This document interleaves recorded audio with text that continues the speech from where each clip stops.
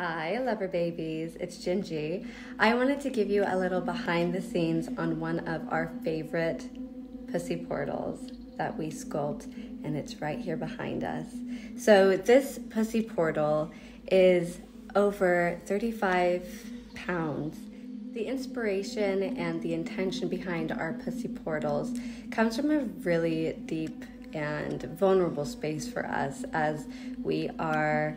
Um, survivors and thrivers of sexual abuse from a very young age throughout our childhood and adulthood, and being able to reclaim our pussy and be able to reclaim our body and our humanity through the self expression of creating these sculptural paintings, these portals that we can enter into and feel the resonance of the power within the pussy. And this one in particular, this one is Portal to Zephrium. It is a pussy portal, and this is a beautiful angel named Zephrium that has come and visited me and was with me as I was painting this.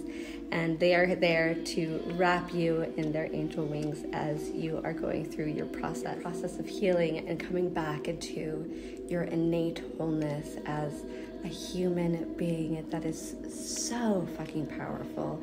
And you are so important.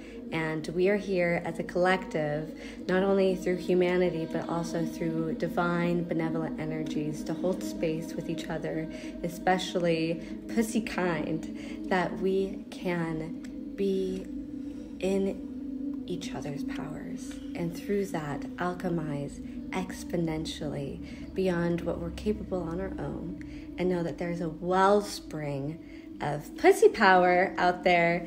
And we are so excited for you to get lost and found in our pussies. And we are so excited to meet all y'all at the Breathe Conference and through the Meta Spaces. We love us.